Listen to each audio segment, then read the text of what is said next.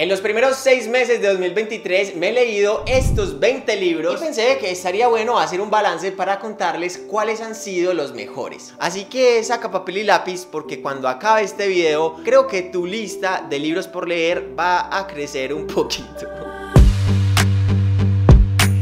Hey, ¿qué más lectores? Luis Miguel acá en otro video del estante literario, el canal de la buena lectura y hoy sí que venimos con buena lectura porque en lo que va de 2023 he leído 20 libros y en este video les voy a contar los 5 mejores. De todas maneras, la lista completa la voy a dejar en la descripción. Varios de estos libros son relecturas, pero en este video me quiero centrar en los libros que leí por primera vez y por eso libros como Rebelión en la Granja que a mí me gustaron mucho y que aparentemente a Sophie también, pues no estarán en esta lista. Así que empecemos con el primero, el número 5, que es El arte de llevar la contraria. Este fue el libro elegido para llevarme a la playa en vacaciones en enero y recuerdo que lo disfruté muchísimo. Inicialmente quise leerlo porque esto del arte de llevar la contraria es una habilidad que creo que es difícil de adquirir, pero que es muy importante en la vida. No deberíamos ver el desacuerdo como algo negativo, sino como una oportunidad para crecer y llegar a mejores resultados. Básicamente este libro enseña tres cosas. Lo primero es a entender por medio de estudios psicológicos por qué a veces nos da miedo expresar nuestras opiniones. Pero no se queda ahí, sino que nos da tips para romper barreras a la hora de expresar nuestras propias opiniones, sobre todo cuando son impopulares o contrarias a las de la mayoría. Lo segundo que enseña el libro, y que para mí es una de las cosas más importantes, es cómo escuchar la opinión del otro para encontrar en ella una oportunidad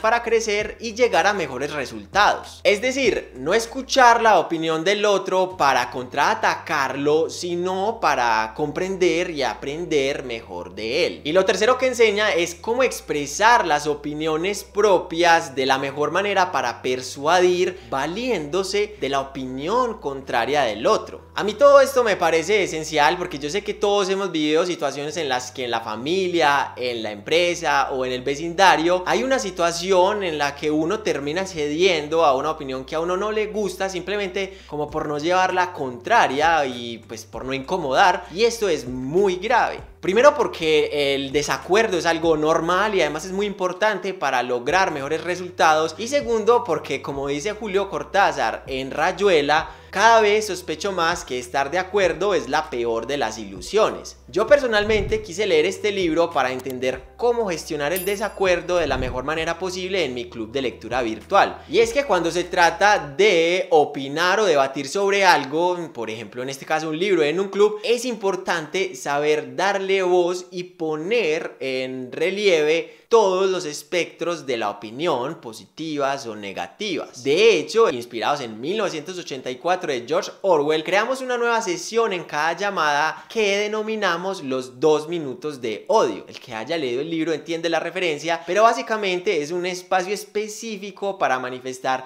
las inconformidades o críticas que tengamos con el libro. La verdad es que espero hablar más en profundidad sobre este libro aquí en el canal. Si les interesa, cuéntenme ahí en los comentarios y acelero reseña. Pero bueno, pasemos al siguiente libro que es Carta de una desconocida de Stefan Zweig. Este libro lo leí en mi Kindle y fue la lectura conjunta de marzo. Las lecturas conjuntas es una actividad que hacemos aquí en el canal. Leemos un libro cada mes y lo discutimos en un en vivo por YouTube. Así que si están interesados ahí les dejo en la descripción un enlace para que den su correo y se inscriban gratis.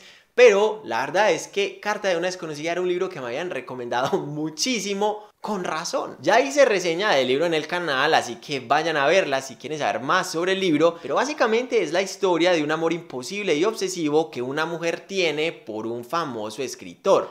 Ella toda la vida estuvo enamorada de él, pero nunca quiso revelarle su mayor secreto hasta que en el lecho de muerte le escribió una carta que es la que nosotros leemos en este libro. Es una historia apasionante y sorpresiva que a uno lo mantiene con la emoción a tope. Es un libro súper cortito e intenso que de hecho yo leí dos veces, pero pasemos al siguiente libro. Cumbres borrascosas de Emily Bronte, libro que por cierto lo leímos en mi club de lectura virtual, así que si te interesa leer grandes libros junto a mí, otra comunidad de apasionados lectores, ahí te dejo en la descripción un enlace con toda la información para que te inscribas porque este semestre vienen lecturas geniales. Cumbres Borrascosas es un clásico de la literatura inglesa y diría que hasta de la literatura universal. En resumidas cuentas, narra la historia de un hombre que vive un amor tóxico, obsesivo e imposible con una mujer. Y como algunas personas le impiden concretar ese amor, él se venga de todo el mundo de las formas más violentas y malvadas posibles. Todo eso ocurre en un espectacular paisaje frío y desolado, en unas cumbres borrascosas, unos picos ululantes que fijan el tono oscuro y hostil de esta narración.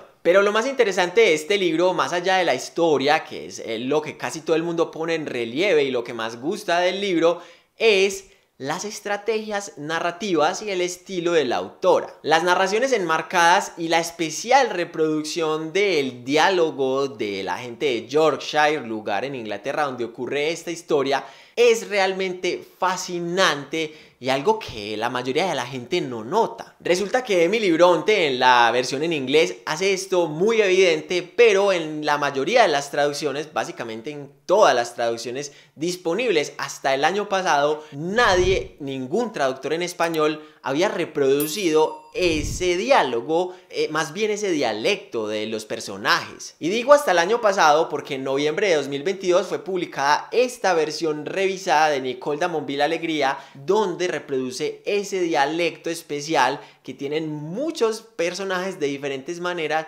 en la obra que le da un color, un tono y una riqueza inigualable. Y por eso esta lectura fue inolvidable para mí, porque en el CLE tuvimos la oportunidad de conversar con Nicole Damonville Alegría, la traductora de este libro, quien nos explicó su proceso de traducción de la novela. Y es que esto del dialecto en la literatura me parece fundamental. Es una forma magnífica que los escritores usan para darle más color y creatividad a sus narraciones, pero también para hacer un homenaje a esos ritmos cadencias y palabras únicas de cada región, como lo hace también el siguiente libro. Las estrellas son negras de Arnoldo Palacios. Y esa fue una de las razones por las cuales este libro fue una de mis lecturas favoritas de este semestre porque el autor reproduce el habla de la gente del Chocó, pero también hay una historia que refleja la vida angustiante y al borde del abismo que viven los habitantes de una región tan olvidada como lo es esta del Pacífico colombiano esta es la historia de Irra, un chico que vive desesperado por la falta de oportunidades, por el racismo y la pobreza que lo rodea en su pueblo.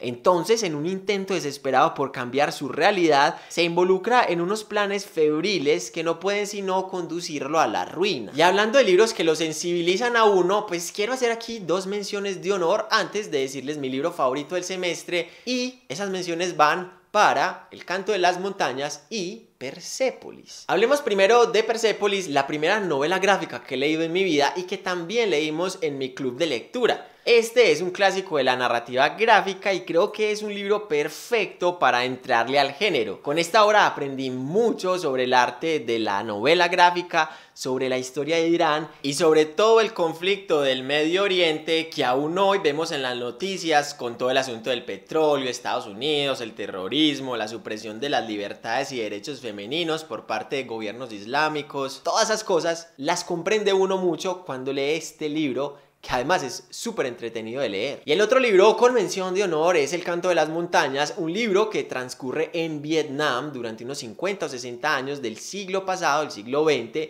y que nos permite conocer la historia de este país a través de la familia Tram. Es una historia íntima, eh, conmovedora y vívida que es muy fácil de leer. Las páginas se van así, no como el siguiente libro, que es todo lo contrario, es un libro muy retador, pero que por eso y por otras cosas se ha convertido en mi libro favorito del primer semestre de 2023 y estoy hablando de nada más y nada menos que el único e irrepetible Gabriel García Márquez con El otoño del patriarca. Vean, este libro es una locura, una experiencia de lectura increíble, divertida, loca, retadora, indignante y hermosa. Este libro es muchísimas cosas y en palabras de García Márquez es su verdadera obra maestra, el libro que quiso escribir toda su vida y que representa lo más alto de sus búsquedas narrativas. El otoño del patriarca cuenta la historia de la casi apocalíptica muerte de un dictador en un reino en algún lugar del Caribe. La historia es narrada por todo el pueblo y por él mismo, entonces este es un tejido de voces narrativas donde los personajes se pasan la batuta, donde la historia va y viene en el tiempo, en los puntos de vista, de manera que leerlo es muy retador. Además, aquí la puntuación es escasa y eso genera que las frases sean muy largas. Es más, mire pues estas estadísticas tan interesantes que sacó uno de los lectores del club. El libro tiene 110 oraciones divididas en 6 capítulos. El promedio de palabras por oraciones es 803.58